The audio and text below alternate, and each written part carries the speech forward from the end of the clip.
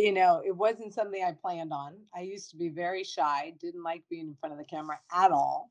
I would say middle of my career, my husband would always go, What, what are you going to do after this? The opportunity to broadcast beach volleyball uh, just blew my mind. Like for me, that's my sweet spot um, because I live it, breathe it. You know, it's me. It's me. Um, I get to coach young athletes.